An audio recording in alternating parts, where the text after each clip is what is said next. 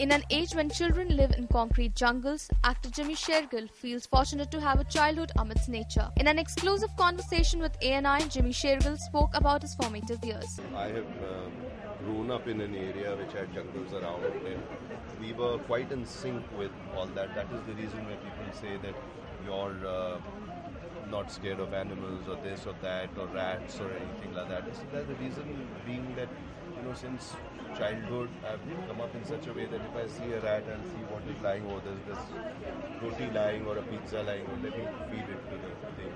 Eat and go away, right? Rather than other people when they saw, when they see or uh, whatever, they would like when we were in school. I, I still remember, or even till date, I, I've, I, I've noticed that you know the moment people see a lizard, oh my god, hit it and this and that and all whatever.